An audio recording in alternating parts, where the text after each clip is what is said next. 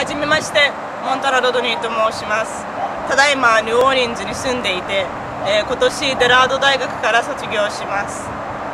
18ヶ月前にハリケーンカトリナがニューオーリンズを襲い私たちはジョージア州そしてフロリダ州にも逃げました。去年私たちは家族みんなでニューオーリンズに戻ってきました。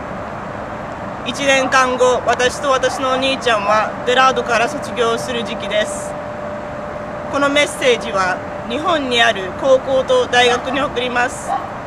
私と私のお兄さんを連れ日本に行って日本の生徒たちとカトリナのことについて話したいと思います。私は沖縄で生まれ岩国そして福生で育りました。日本の学校にも通いました。皆様この話のことを聞きたければアントジャ www.antja.net に行ってください。よろしくお願いします。その他通訳もしますのでそこのところもよろしくお願いします。